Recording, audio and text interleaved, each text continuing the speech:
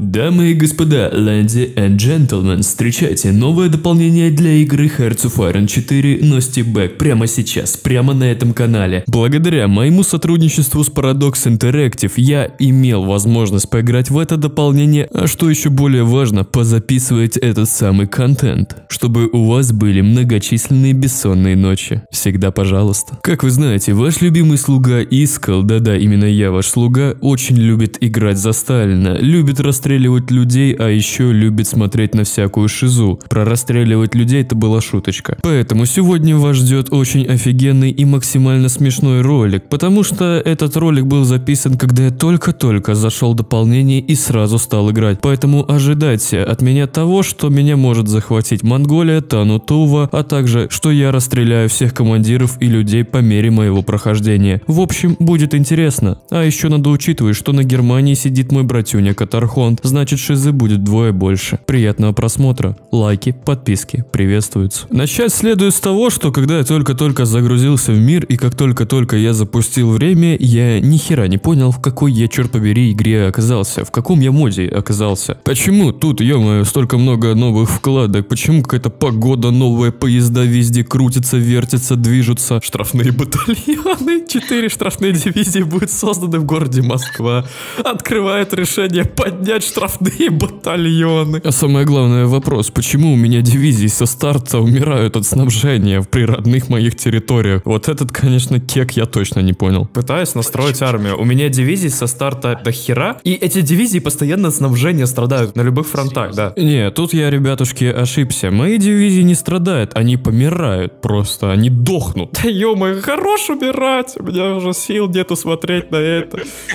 Ладно, про снабжение у меня будет в ролике потом отдельные вставочки, даже несколько вставочек, чтобы вы понимали всю ущербность моей ситуации в будущем. А сейчас давайте поговорим с вами о национальных фокусах и, конечно же, о новых механиках. Ради этого мы здесь все собрались. Мы это ждали 6 лет. Давайте посмотрим повнимательнее. Открывает доступ к тактике Opel Blitz. Фига себе. А я пойду через Сталина. О, поезда едут из Москвы.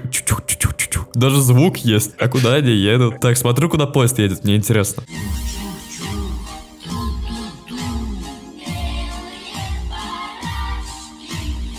Сухопутная доктрина, морская доктрина, воздушная доктрина. Тут, кстати, звук изменили доктринам. И доктрины переработали. А у меня а, доктрина массированного штурма выбрана по умолчанию и сменить нельзя. Чтобы стать советником, нужен уровень навыка. Тут генералов советниками можно делать. Охренеть! Прокачивать генералов и делать их советниками. Вот это круто на самом-то деле. Вот это очень круто. Ну шо, как говорится, погнали бронепоезда изучать. Нифига себе открывает доступ к трехместной орудие на местное орудие. Ё-моё, блин, ну что поделаешь. Надо, наверное, среднюю модель танка изучить. Так, а свободные фабрики, ёпарный театр дороги, строй. А, здесь можно узел снабжения построить. Я построю узел снабжения, например, в этом городе. Я хочу посмотреть, как изменится потом карта мира. Тут можно логистику делать, знаешь, самому полностью. Как у тебя снабжение удобно. будет идти, да? Знаешь, через год все будут делать логистику тупо по реке. Железные дороги будут идти.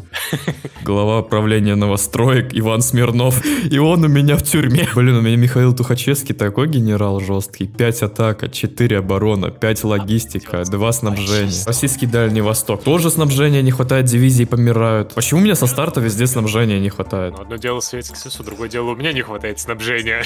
У тебя тоже не хватает снабжения, девка? Мне 4 региона показывают, что снабжения вообще нет. Ну вот примерно вот такая вот у меня первая реакция была. Вы только что ее услышали практически на все, на все переработки проработанные темы нового дополнения. Фокусы, снабжение, танчики, генштаб. Сейчас я движусь по пути Сталина. А что это значит? А то, что будет очень и очень много чисток. Да, теперь полностью систему чисток переработали, вы увидите это скоро-скоро в видеоролике. Теперь у нас будет одна чистка за другой, маленькая чистка, большая чистка, средняя чистка, неважно. А еще, конечно же, у нас появится такой агрегат и такой инструмент, как паранойя. Не буду называть ее паранойей Сталина, потому что за это мне сразу влепит 55 тысяч дизлайков, а я не хочу дизлайки, я хочу лайки, просто назову паранойей правительства. Именно благодаря этой паранойи начинается самая главная шиза нового дополнения – расстреливать всех налево и направо из-за доносов. Перед тем, как перейти к этому, чтоб вы понимали, у нас на серьезке будут ивенты, где рядовой написал донос на главного генерала, и я его расстрелял. Вот такие ивенты у нас будут. Блин, как кайфово. Приятного просмотра. А, все, слушай, товарищ Иосиф Сталин говорит, что нужно всегда быть на чеку и опасаться саботажников и вредителей, замышляющих против государства, на каких бы постах они ни находились. Система паранойи включится. Будут открыты решения при политической власти. Иосиф Сталин получит политическое паранойя.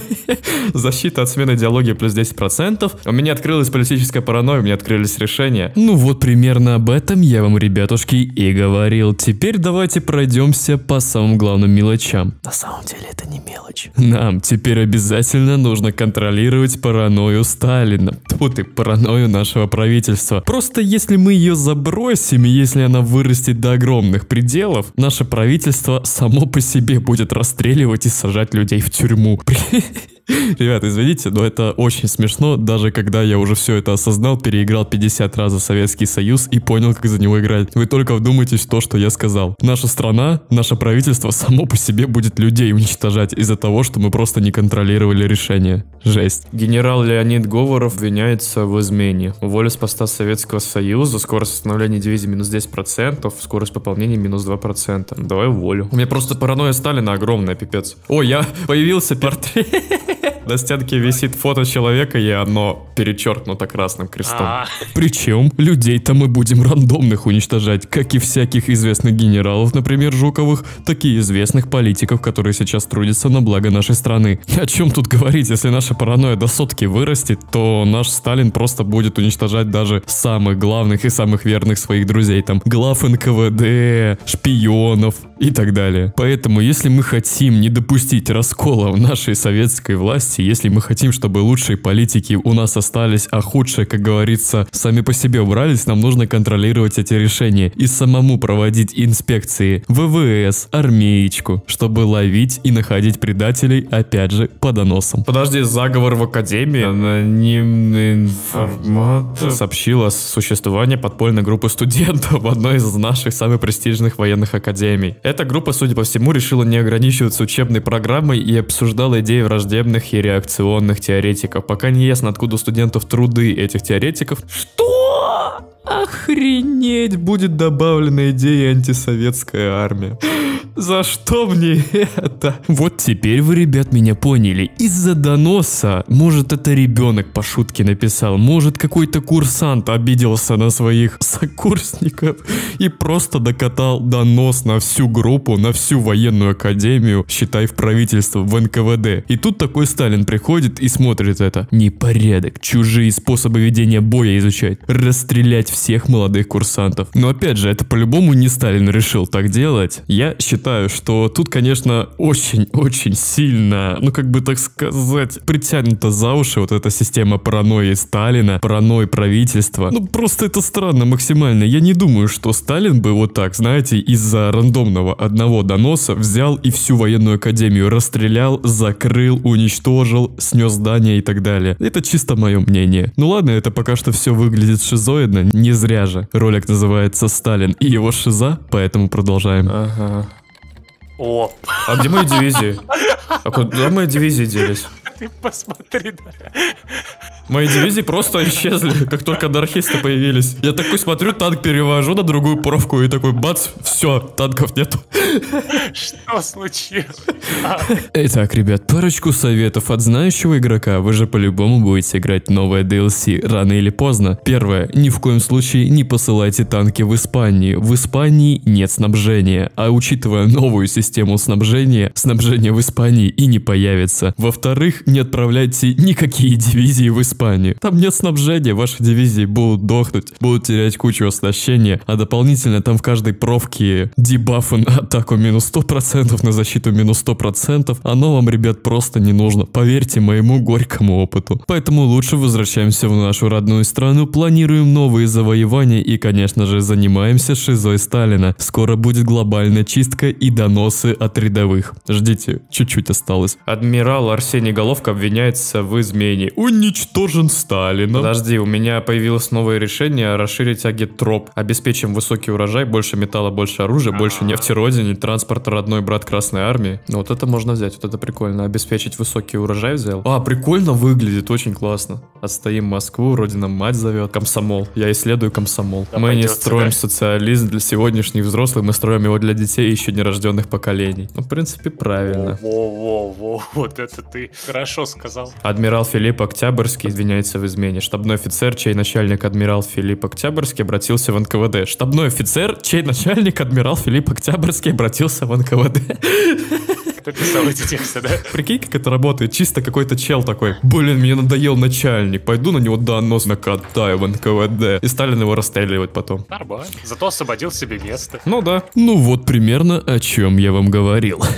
Любой человек, любой солдат мог написать донос на вашего генерала, командующего и так далее. И если вы не хотите, чтобы паранойя Сталина возросла, вам пришлось бы его расстрелять, отправить в Сибирь, отправить в Мексику и так далее. Но справедливости ради, ребят, я отмечу, что когда вы закончите со всеми этими шизоидными расстрелами, ссылками в Сибирь, увольнениями и так далее, вы получите просто гениальнейшего правителя, который будет иметь огромное количество бонусов и бафов, а также просто сильнющую страну в игре. Я вам так скажу. После этой партии я играл соло очень много раз. И скажу так. Советский Союз, если раскормится через ветку Сталина, будет самой сильной страной в мире. Ни одна страна не догонит Советский Союз по бонусам, по производству, по рекрутам, по солдатам, по качеству армии и так далее. Это очень имбалансная ветка, именно на Сталина. Другие ветки я не особо так смотрел, но они куда хуже, чем ветка на Сталина. В общем и целом, я думаю, нам пора закончить с паранойей Сталина. Мы 10 минут, ребят, с вами ее обсуждали. Время переходить к новым насущным задачам. Посмотреть, как работает война, а также посмотреть, как работает снабжение, о чем я говорил в самом начале ролика. Первую войну я, конечно же, устроил с Ираном. Вы же знаете меня. За нефть я стреляю в двор и упор. В этой войне у меня были полностью укомплектованные мои пехотные дивизии. Стоит заметить, что тут полностью переработали военную систему, но об этом я уже говорил в гайдах, и об этом я поговорю в каком-нибудь ролике. Научу вас правильно формировать свои дивизии в новом дополнении и в новой системе войны, чтобы они разносили не только ботов, но и людей. Возвращаемся к Ирану. Захват Ирана у меня проходил методично. Понятное дело было, что я его захвачу, но у меня